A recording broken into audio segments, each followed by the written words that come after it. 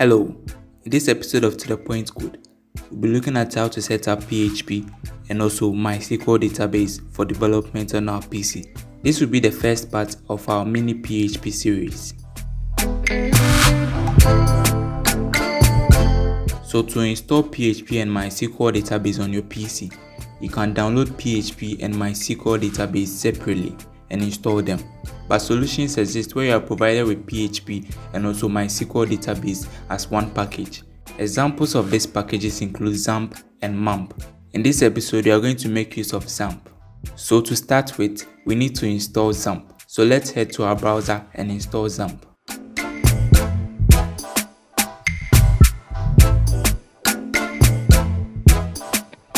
So on the XAMPP page, we download the right version for our operating system, whether Windows, Linux or macOS. In this case, I'm on Windows, so I'll download the Windows version. This should start the download automatically. Now once the download has completed, we head to the installer package and install it.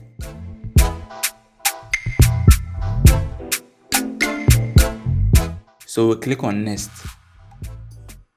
On the component page, I'll leave everything checked and click on next again. Now the installation folder, we'll leave it as it is. We'll leave it in the C directory and also the XAMPP folder. It is recommended that you put the XAMPP folder in the root directory of your storage disk. Once you've done that, you can go ahead and click on next. We select the appropriate language as well.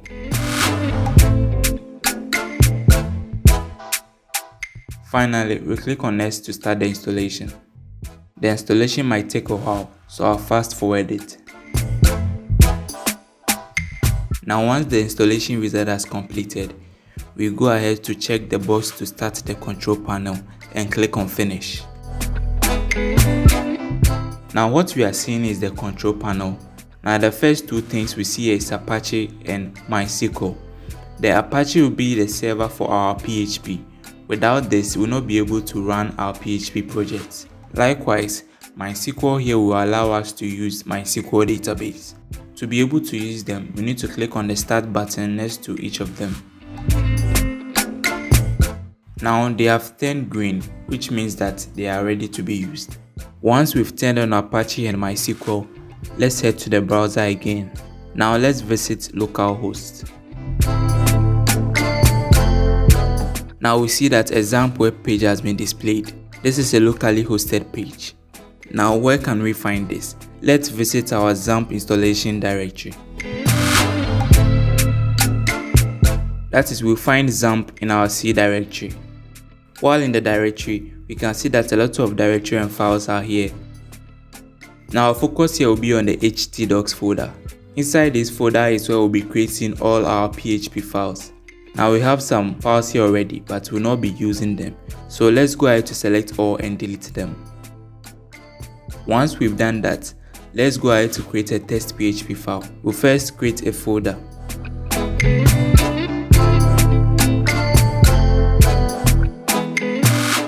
Now inside this directory, we need to create an index.php file.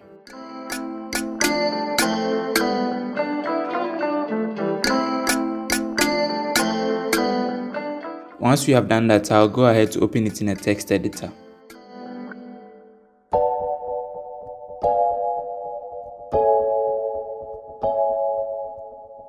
All I'll do here is to say, hello world, this is my first PHP project. I'll use an h1 tag.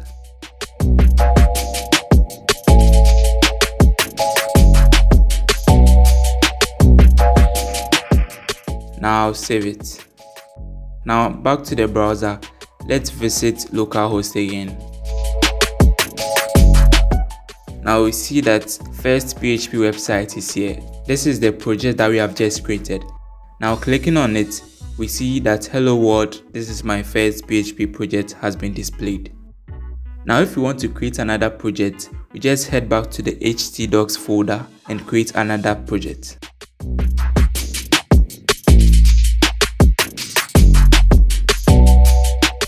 Now once we go back to the local host and refresh, we see that my second project too is being displayed. So this is how you are going to create and run your PHP project. Now what about MySQL database? That can also be accessed easily in the browser.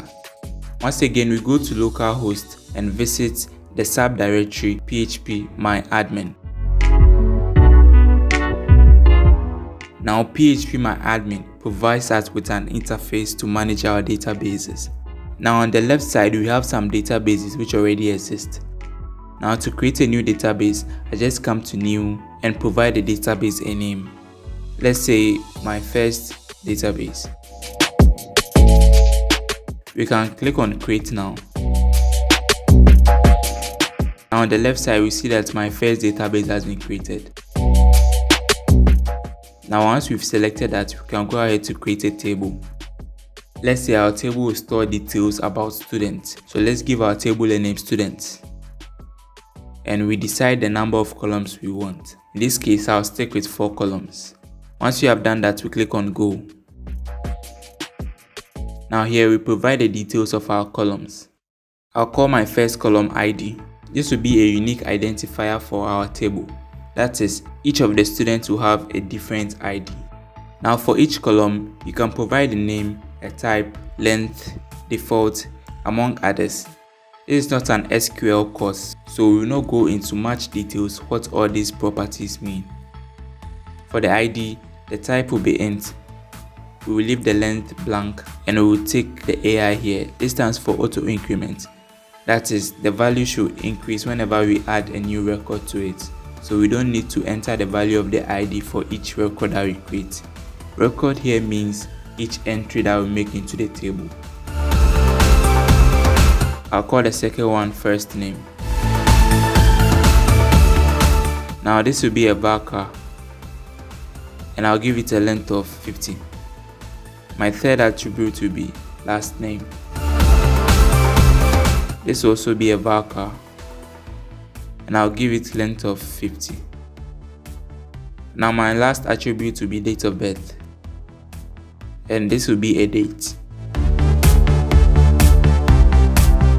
Now once I'm satisfied with all the properties, I can go ahead to save. Optionally, I can preview the SQL to see the SQL code that will be used. Once I've done that, I can go ahead to save to create the table. Now under my first DB, you can see that the student table has been created. Now we have the option to insert data into the table. Once we click on the insert, we can provide some details. The ID will increase automatically so we will not touch that. So let's add some details.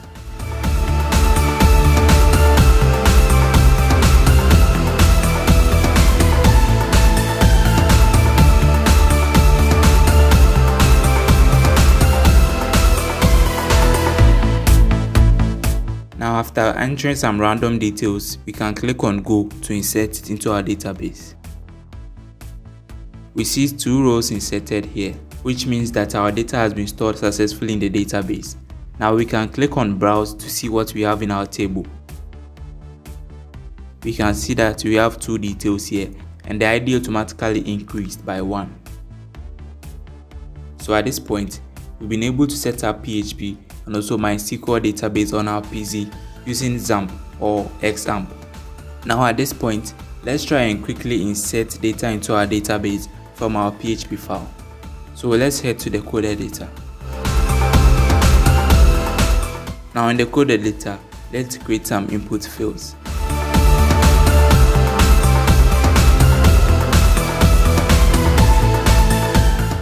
For the input fields, remember that the name property is very important. That's what we'll be using to fetch the details from the fields.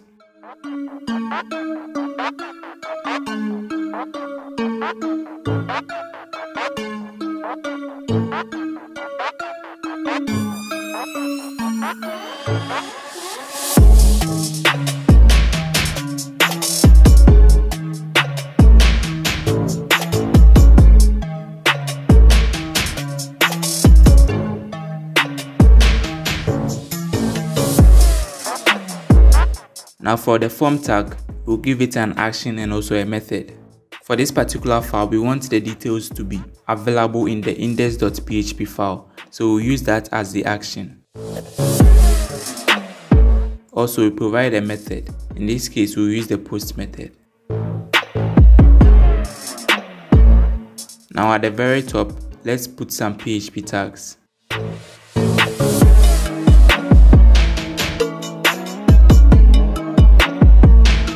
Before we continue, let's see the output of our code. You can see that our input fields are here.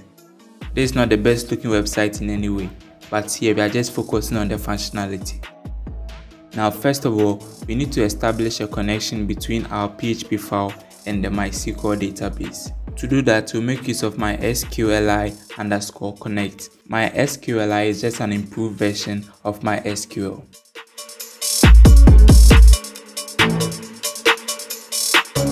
Now we need to provide some details to this function. First of all, we need to provide the name of our host and that is localhost.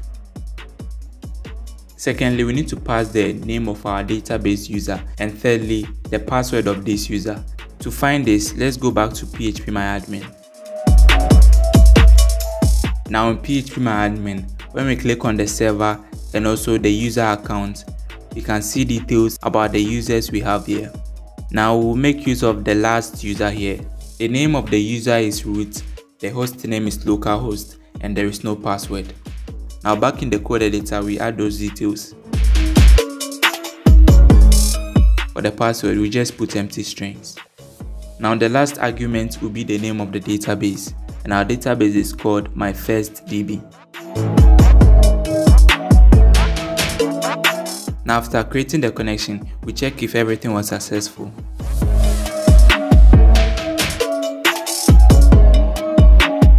If everything was not successful, we exit the script and provide an error message. In addition to this, we can add MySQLi connect error.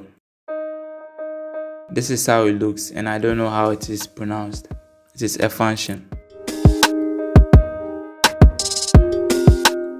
Else if the connection is successful, let's echo a success message.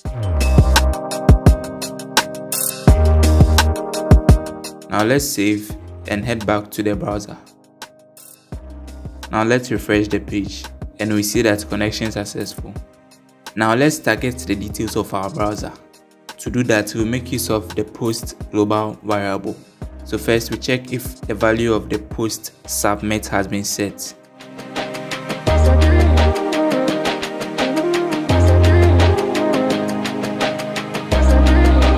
If it has been set, then we grab the details of the input fields using this same post variable.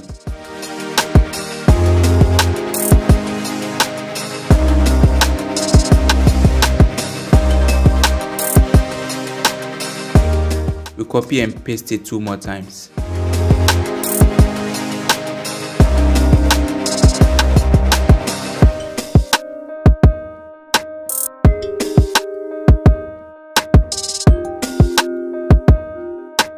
Now to ensure that the data we get from the form cannot pose any harm to our database, we will wrap each post variable in HTML entities.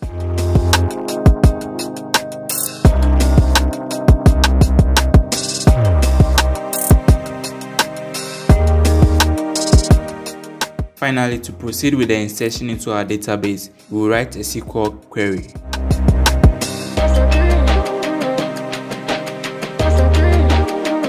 We will use the name of our table, that is students. We will select the fields first name, last name, and date of birth. Now we pass these values to it. We wrap each of the values in single quotes.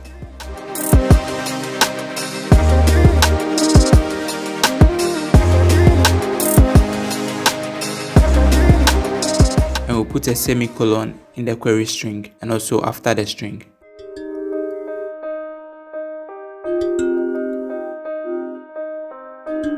Now we run the query by using MySQLi underscore query. First of all, we pass the connection string to it. Secondly, we pass our query variable to it. Now we'll store the result in a variable. Once you've done that, we go ahead to check if it was successful. So let's cut it and put it in an if statement.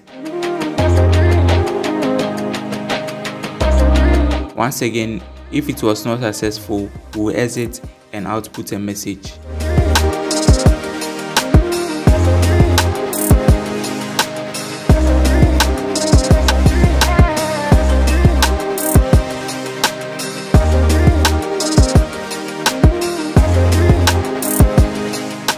Now let's go ahead to try it out.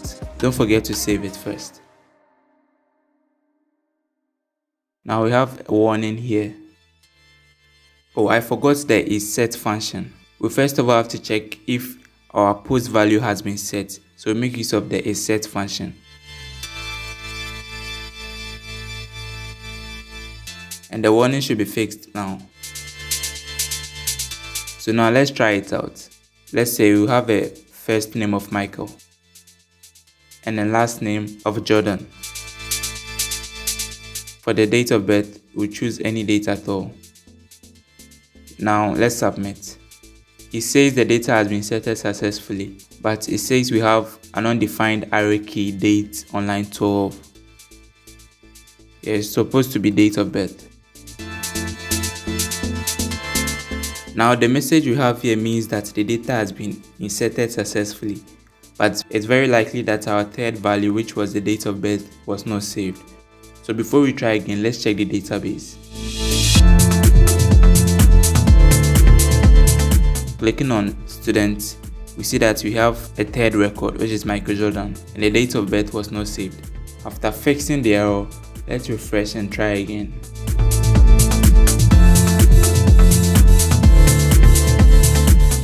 Once we refreshed, we see that our data has been set again, but now the date was included.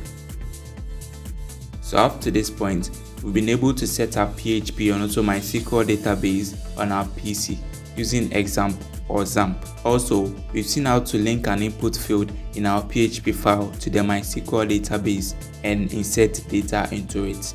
In the next episode, we will start with our PHP CRUD application and we'll be creating an attendance list as the project. We will learn how to create, read, update and also delete records from our database from the PHP interface. And that's all for this episode. Thanks for watching. Please leave a like and subscribe and I'll see you in the next episode.